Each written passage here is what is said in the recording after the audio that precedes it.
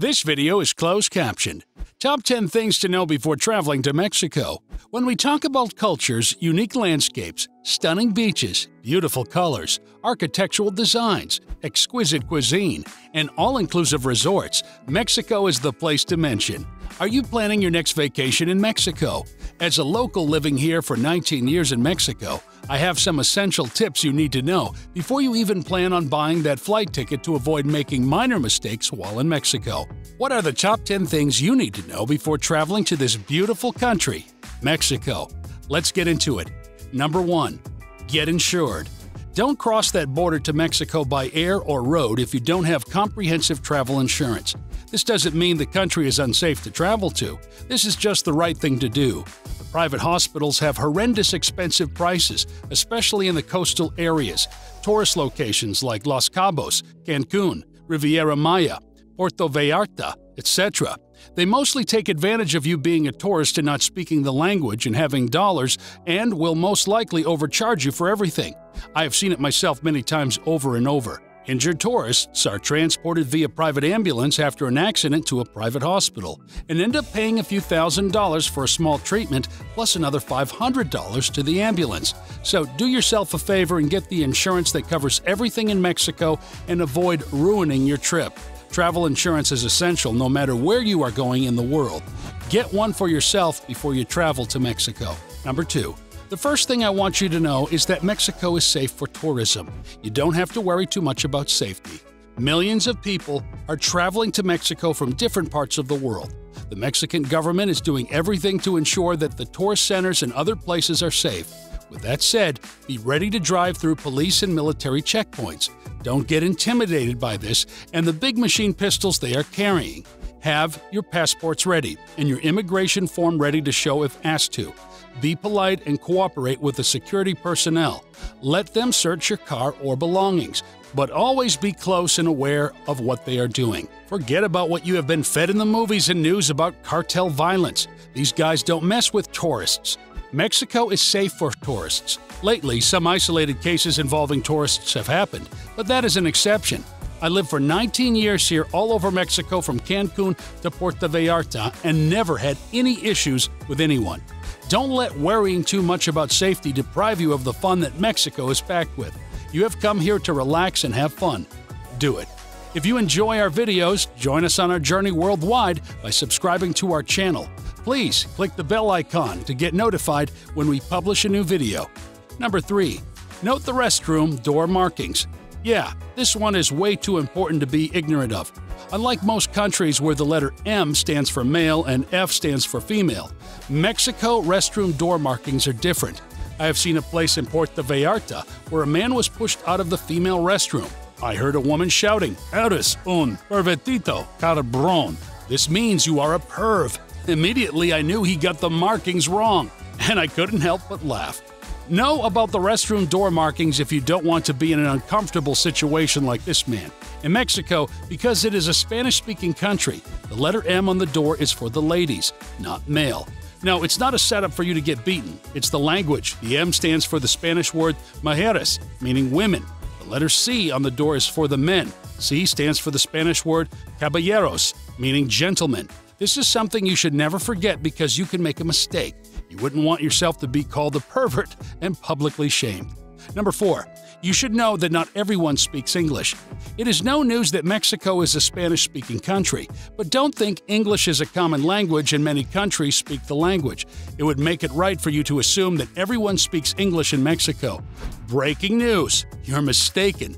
Mexico has many languages spoken by the people, but the primary language is Spanish. Only a tiny percentage of the people in Mexico speak English, all of which most are not even fluent. If you plan your next vacation in Mexico, this is the right time to start learning basic Spanish. You can learn words like buenos dias, meaning good morning, buenas tardes, meaning good evening, and buenas noches, meaning good night, gracias, meaning thank you. The deeper you go into the country, the less English is spoken, and these are the best places you find the authentic culture of the people. Basic Spanish will go a long way in these areas. Number 5. You don't flush the toilet paper in the restroom in Mexico. I know you are probably asking the question why. Yes, many people have asked that question. What do we do with the toilet papers if we can't flush them? Simple answer is that the septic system in Mexico is not built to deal with toilet papers properly. Continuous flushing of toilet papers can lead to blockage. Trust me, it is always expensive to fix. Some resorts have a robust septic system to flush toilet papers, but it is scarce. It would be best to ask before you make any such attempt, or you might end up with a big plumbing bill to pay. Number 6. Tap water in Mexico is not drinkable. Tap water is not drinkable for the locals, and certainly not drinkable for you. The best option is a water to go bottle. Please make sure you get one because it will help you filter the water. Some hotels in Mexico offer free water in their lobbies or the rooms. If you must buy bottled water, make sure you get sealed bottles only from a reputable store like OXXO, spelled O X X O. Some street vendors refill the bottles with regular tap water, so watch out for this one. Number 7. Know how to blend in. Have you ever walked past a place where you notice everyone around is looking at you? Would you like the feeling? Especially if they chant some words you don't even understand. This is why you need to blend in. Examine the way people are dressed in the area you want to go to and blend in. Some places in Mexico are conservative. People dress more modestly in Mexico. Although Mexicans can tolerate foreigners' clothing, people cannot be the same. Some may give you a weird look, and you may not like it. It would be best if you learn to blend in. You can buy a hat, sombrero, blouse, poncho, a rebozo for coverings. A jacket is not ruled out too. Number 8. Know the exchange rate and pay in Mexican pesos.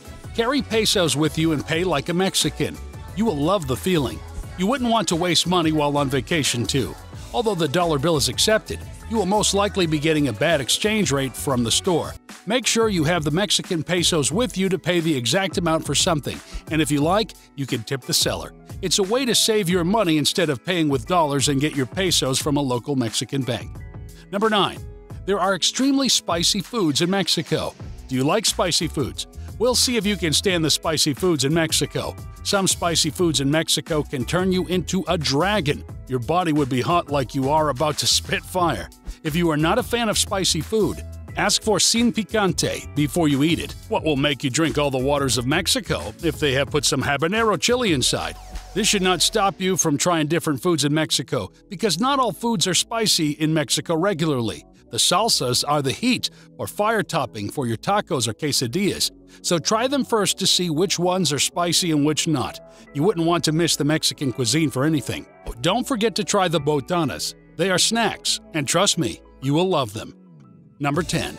Keep your entry visa, also called FMM, in a safe place until you leave the country. When you enter through customs in Mexico, you will get a little piece of paper, a breakaway from your immigration form you had to fill out in the airplane or at the land border. Please keep that safe. Don't lose it. You will need it to exit Mexico. If you cannot present it, you have to pay a fine to get a new one. These tips are essential for you if you already plan to travel to Mexico. I hope you enjoyed this video. If you have more questions about Mexico, you can drop them in the comments below, and you will get an answer. To get more tips like these on any country, drop a comment below and subscribe to the channel. You will be the first to get notified when a new video comes out. Thank you, and see you in Mexico.